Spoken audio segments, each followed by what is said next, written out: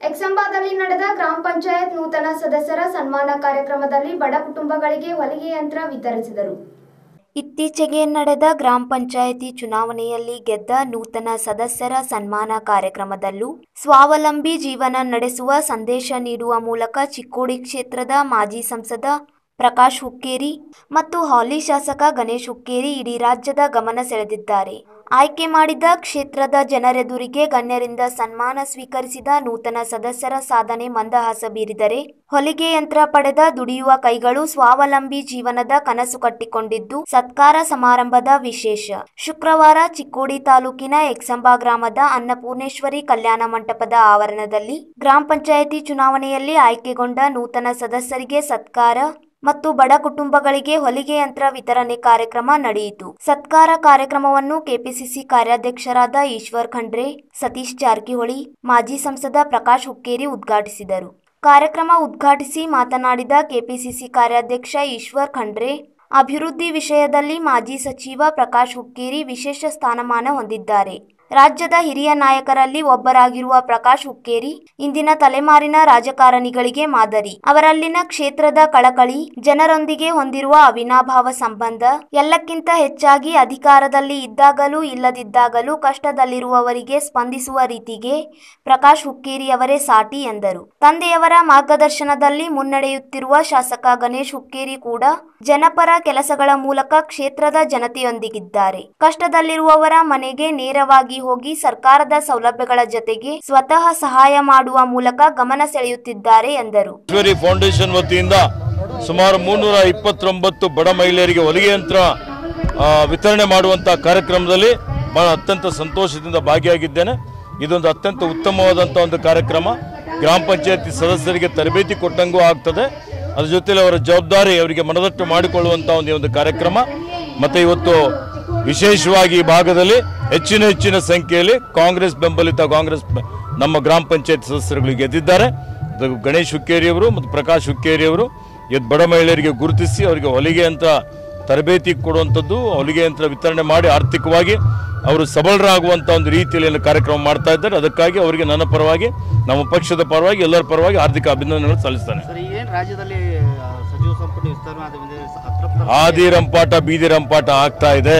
ಸ್ಥಿರವಾದಂಥ ಸರ್ಕಾರ ಇವರು ಕೊಡಲಿಕ್ಕೆ ಸಾಧ್ಯ ಇಲ್ಲ. ಕಾಂಗ್ರೆಸ್ ಒಂದು ಸ್ಥಿರವಾದ ಸರ್ಕಾರ ಕೊಡಬಹುದು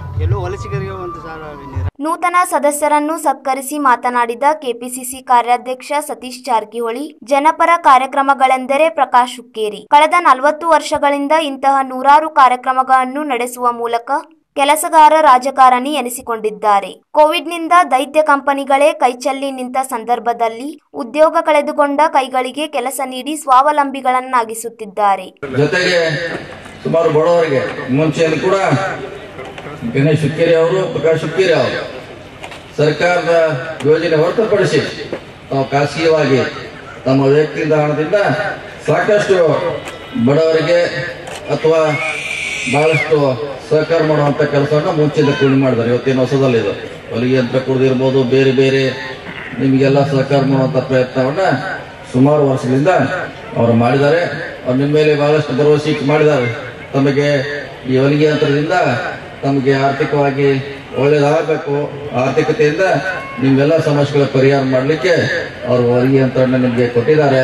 ಅದನ್ನು ಸರಿಯಾದ ರೀತಿಯಿಂದ ಸದುಪಯೋಗ ಮಾಡಿ ಒಂದೇ ವೇದಿಕೆಯಲ್ಲಿ ನೂರಾರು ಜನರಿಗೆ ಹೊಲಿಗೆ ಯಂತ್ರ ವಿತರಣೆ ಮಾಡುವ ಮೂಲಕ ಸ್ವಾವಲಂಬಿ ಹೆಜ್ಜೆ ಇಟ್ಟಿರುವ ಮಾಜಿ ಸಚಿವ ಪ್ರಕಾಶ್ ಹುಕ್ಕೇರಿ ಮಾತನಾಡಿ, ಚಿಕ್ಕೋಡಿ ಸದಲ್ಗಾ ಕ್ಷೇತ್ರದಲ್ಲಿ ದಾಖಲೆ ಸಂಖ್ಯೆಯಲ್ಲಿ ಕಾಂಗ್ರೆಸ್ ಸದಸ್ಯರು ಆಯ್ಕೆಗೊಳ್ಳುವಲ್ಲಿ ಕಾರ್ಯಕರ್ತರ ಶ್ರಮ ಸಾಧನೆಯೇ ಕಾರಣ.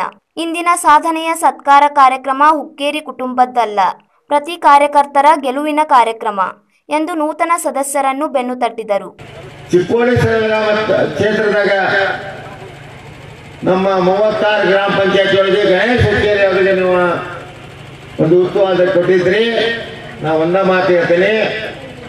ಏನಂತಂದ್ರ ಹೆಚ್ಚಿನ ಸಂಖ್ಯೆಯಲ್ಲಿ ನಾವು ಗ್ರಾಮ ಪಂಚಾಯತಿಯ ಸದಸ್ಯರನ್ನ ಆಯ್ಕೆ ಮಾಡಿ ಆಯ್ಕೆ ಮಾಡ್ತೀವಿ. ಅದನ್ನ ಇವತ್ತು ನಾವು ಸಿದ್ಧ ಮಾಡಿ ಕೊಡ್ತಾ ಇದ್ದೇವೆ ಇವತ್ತೇ ಈಶ್ವರ್ ಖಂಡ್ರೆ ಅವ್ರಿಗೆ ಒಂದು ಮಾತು ಕೊಡ್ತೇನೆ. ಏನಂತಂದ್ರೆ ಬರುವ ಚುನಾವಣೆ ಒಳಗೆ ನಮಗೆ ಉಸ್ತುವಾರಿ ಕೊಟ್ರ? ತಾಲೂಕಾ ಸಮಿತಿ ಮತ್ತು ಜಿಲ್ಲಾ ಪಂಚಾಯತಿ ಚುನಾವಣೆಯ ಅಭ್ಯರ್ಥಿಗಳನ್ನು ಕೂಡ ಹೆಚ್ಚಿನ ಸಂಖ್ಯೆಯಲ್ಲಿ ಆಡ್ತಿರ್ತೀವಿ ಚಿಕ್ಕೋಡಿ ಸದಲ್ಗಾ ಶಾಸಕ ಗಣೇಶ್ ಹುಕ್ಕೇರಿ ಮಾತನಾಡಿ, ಗ್ರಾಮ ಪಂಚಾಯತ್ ಚುನಾವಣೆ ಮೂಲಕ ಚಿಕ್ಕೋಡಿ ಸದಲ್ಗಾ ಕ್ಷೇತ್ರ ಕಾಂಗ್ರೆಸ್ನ ಭದ್ರಕೋಟೆ ಎನ್ನುವುದು ಮತ್ತೊಮ್ಮೆ ಸಾಬೀತಾಗಿದೆ. ಕಳೆದ ನಲವತ್ತು ವರ್ಷಗಳಿಂದ ಕ್ಷೇತ್ರದ ಜನರು ನೀಡಿದ ಸಹಕಾರವನ್ನು ಎಂದೂ ದುರುಪಯೋಗ ಪಡಿಸಿಕೊಂಡಿಲ್ಲ. ರಸ್ತೆ, ಚರಂಡಿ, ನೀರಾವರಿ ಯೋಜನೆ, ಸಮುದಾಯ ಭವನ ಸೇರಿದಂತೆ ಗ್ರಾಮಾಭಿವೃದ್ಧಿ ಕೆಲಸಗಳ ಜೊತೆಗೆ ಕ್ಷೇತ್ರದ ಪ್ರತಿಯೊಬ್ಬ ವ್ಯಕ್ತಿ ಸ್ವಾವಲಂಬನೆಯಿಂದ ಸುಂದರವಾದ ಕುಟುಂಬ ನಡೆಸಬೇಕು ಎನ್ನುವ ಸಂಕಲ್ಪವು ನಮ್ಮ ಗುರಿಯಾಗಿದೆ ಎಂದರು.